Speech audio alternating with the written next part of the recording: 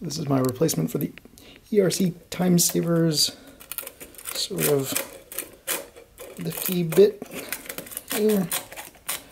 Instead of that, got this here, which has a, instead of it being attached like this way to that 20 millimeter extrusion, it goes right to the Atronomil extrusion. And this piece that's in the middle here is going to put the holes in it like this so that it uh, will take the standard uh, motor configuration. This is just a little test piece and uh, disregard the fact that this is a 40 millimeter extrusion. I don't have any 20 millimeter extrusion on hand so um, I'll have to work with this for now at least and they'll have a back plate as well so they'll have the servo will have more space to mount onto. As you can see it's just kind of stuck to a very thin piece there but um, once we get the back plate on we'll be able to put a, a top on it so that the servo will attach. Um, it's got uh, got mini wheels on it now because again that's what I have on hand. Um, but uh, I can probably expand it out. Um, this is the size of a, full size wheel, so you can see that it uh, does have enough clearance to um, to fit with a full size V wheel.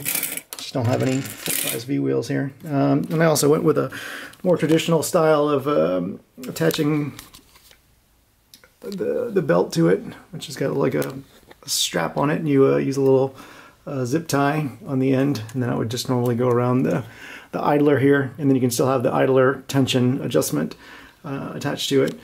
Um, nice thing about this is obviously it's smaller, um, less printing it has to be done. Uh, at the same time, uh, uh, it should be the same travel. I mean, it's about the same height as this. Um, I mean, this plate will be longer, obviously, uh, once I've finished the testing with it. Um, and then it, uh, of course, it does uh, your standard uh, bits. Let's see.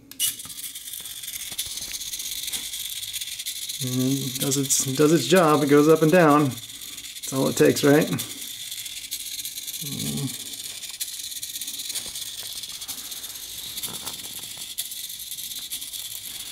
And these are uh, custom 3D printed, sort of uh, they're V wheels, but uh, with a groove in them instead. And the the plate has the plate has uh, grooves on the side, so it slides up and down in it. Um, it's not quite as smooth. You can see that there's a bit of a janky bit at the end here, where it's not constrained enough to lift it up and down. But I think that with the motor on it, uh, it's going to put a lot more weight on it. Um, so it'll just kind of push it down on its own back into its native spot down here. Um, standard standard setup. Um, but if not, I, I can put um, like a, a, screw through the back uh, and attach a rubber band or something, like a spring, so this it'll want to pull it down, like, um, create a little bit more force on it to pull it down if it's not. But I think this is also, this piece, this hole here is a little bit too big up at the top as well, currently. You see, it's got a lot of, a lot of play to it. Um, I mean, it seems to work okay. It just doesn't go all the way, doesn't sit all the way down like it's supposed to. The, uh, the V wheels I also printed at uh, way too low a resolution, so they are uh, they're kind of have some flat edges to them. Um, and that's it. So hopefully this will work, and I'm going to use it for um, uh, milling out the um, the plans instead of uh, needle cutting just to see how it works. And if it doesn't work, then I can just drop back to this needle cutter sort of configuration.